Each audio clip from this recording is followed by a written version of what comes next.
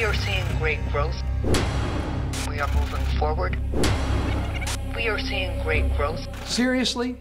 New Hampshire's falling behind with the worst economic growth in New England. Maggie Hassan's support of Obamacare, higher taxes, and out of control spending is holding us back. I guess Maggie Hassan thinks slow growth and low paying jobs are great. I don't.